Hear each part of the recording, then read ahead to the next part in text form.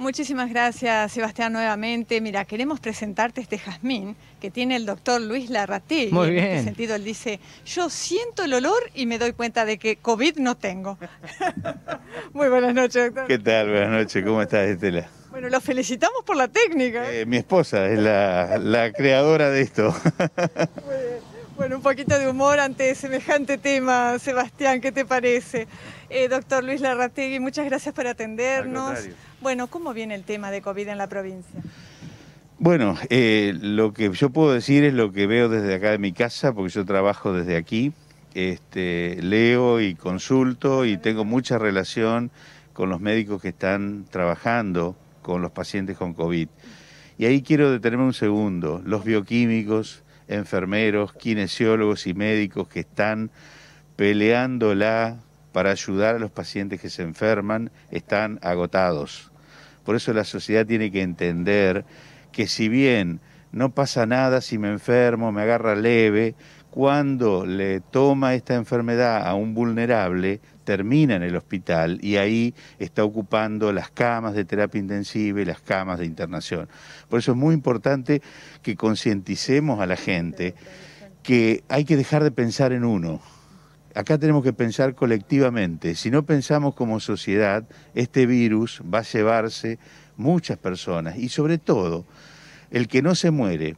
Esta enfermedad produce lo que se llama sarcopenia, una debilidad muscular severa, una pérdida de masa muscular que requiere luego alimentación, ejercicio en un gimnasio de rehabilitación, enfermedades respiratorias crónicas como la fibrosis pulmonar.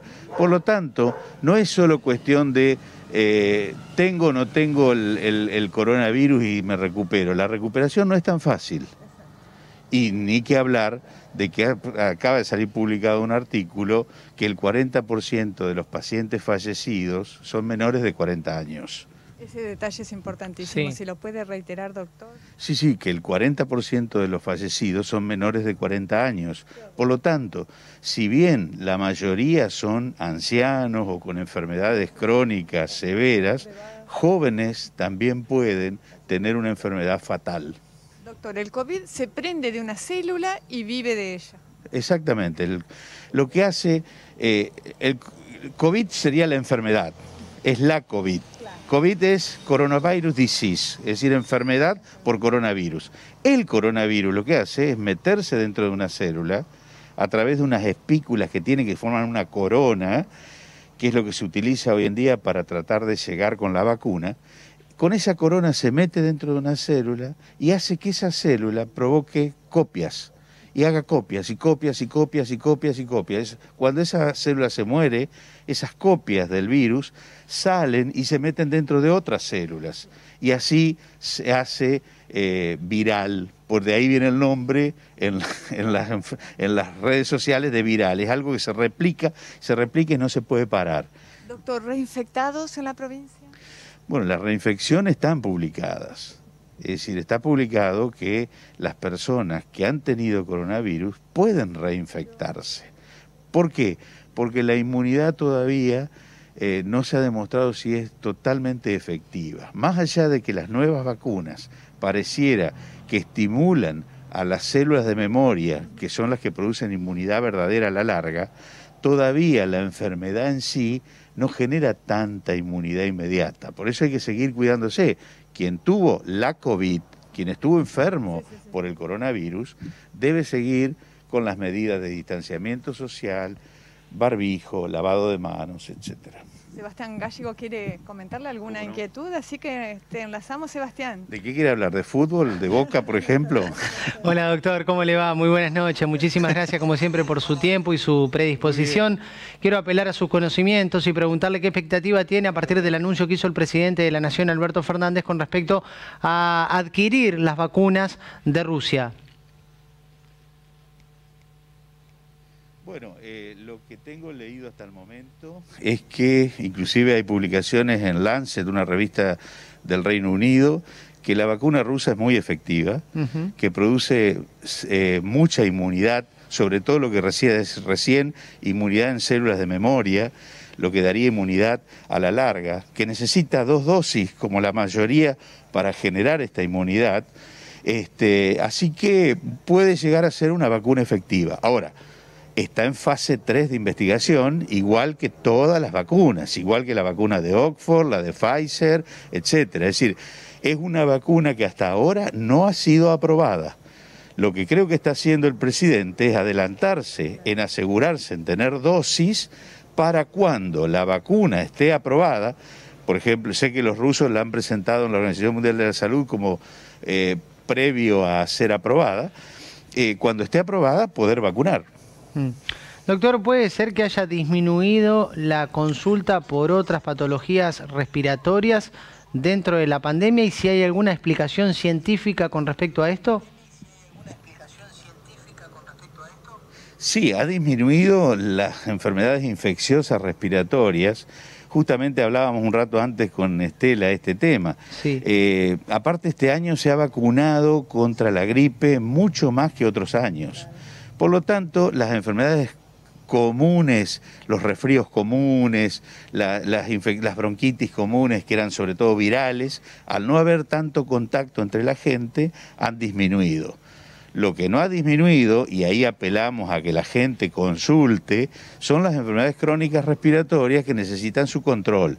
Hoy ya hemos vuelto a hacer espirometrías con todos los controles, los test de caminata y empezar la rehabilitación respiratoria en los pacientes con EPOC nuevamente con todos los cuidados, los protocolos necesarios, porque si no, aumentan las exacerbaciones de estas enfermedades. Sebastián, si nos permitís, le queremos preguntar al doctor, ¿hubo muchas reuniones sociales este fin de semana?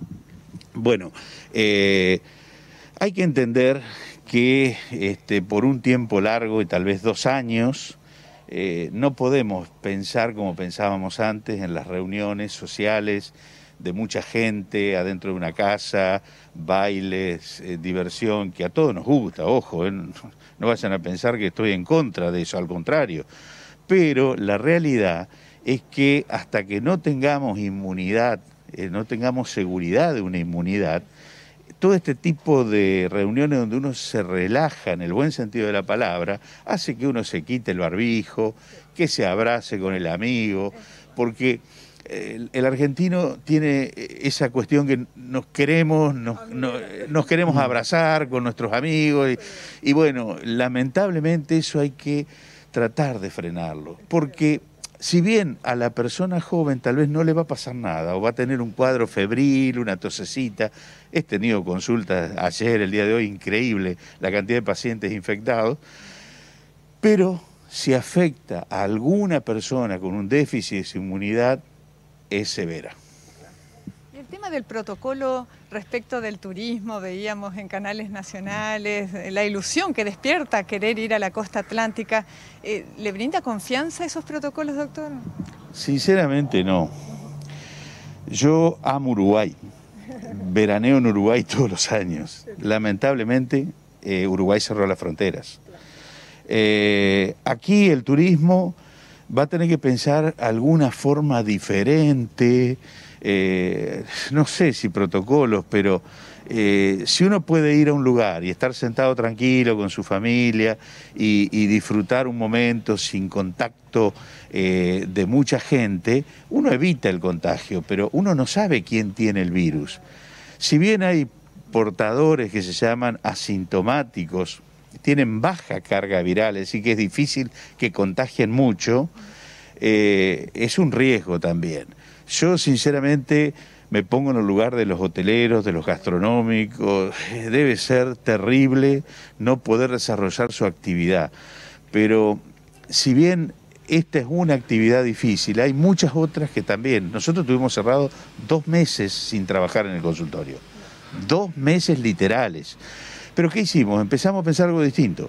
Y hoy estamos trabajando con telemedicina y hoy ya volvimos al consultorio y podemos tener eh, distinta atención. Ya los pacientes no esperan la sala de espera, tienen turnos eh, determinados, es decir, hay que pensar distinto.